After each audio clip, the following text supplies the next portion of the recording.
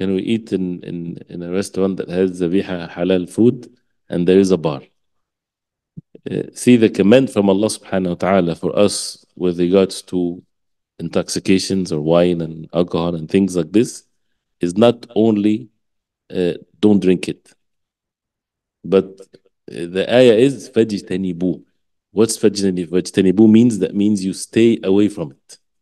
So physically you have to stay away from it. And how, what determines fajtanibu or what's physically? A person would say, when here in the masjid, a masjid might be right next door, a bar, for example.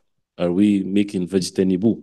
This is something that has to be related to al-urf. Urf meaning, are you in that same uh, company or you're not? Are you in the same place or not? So if you look from above, if it's correct to say, someone is seeing down, people are under the same roof.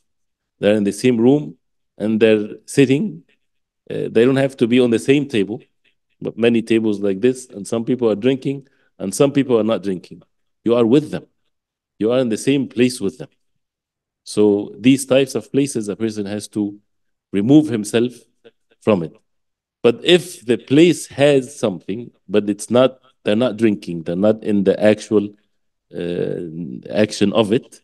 You know, say for example, you're in there for breakfast. Uh, um, for example, there's nothing is being served, and you're sitting, and no one is uh, doing the act of sin, like this. Uh, this can be, as the ulama they say, it might be you know permissible in principle, but always to to try to avoid as much as we can these places that have uh, these types of. But if it's served, then it's you are with them in the same place.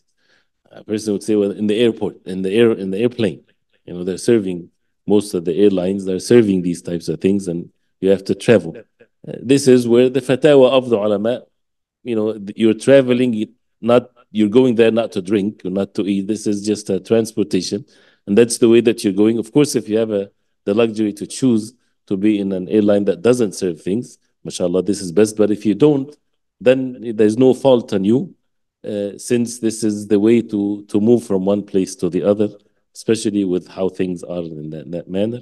So, but to choose to go to a place and things like that, it's definitely to be avoided. Allah